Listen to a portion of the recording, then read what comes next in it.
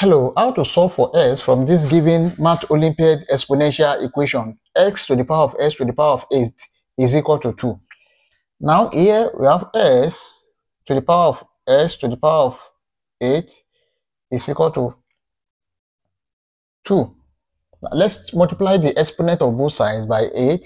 This is s to the power of s to the power of 8 or to the power of 8 is equal to 2 to the power of 8.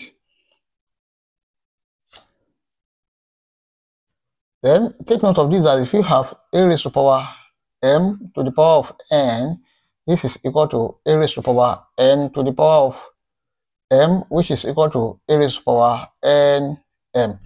Then this can be written as s to the power of 8 to the power of s to the power of 8 is equal to, this can be written as 2 to the power of 2 multiplied by 4.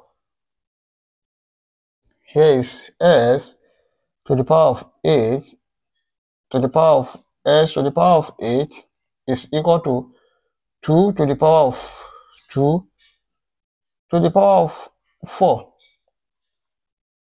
And this is x to the power of 8 to the power of s to the power of 8 is equal to 2 squared. This is 4 to the power of 4.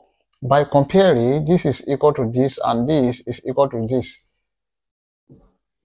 Therefore, s to the power of 8 is equal to 4. Then, let's take the 8th root of both sides. 8th root of s to the power of 8 is equal to 8 root of 4. This will cancel this. S is equal to 8 root of 4. Then this is same thing as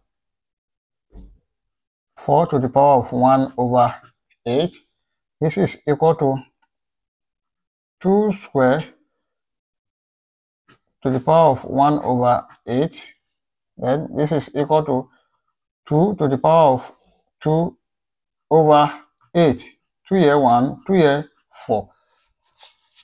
This is equal to 2 to the power of 1 over 4, which is equal to 4 root of 2.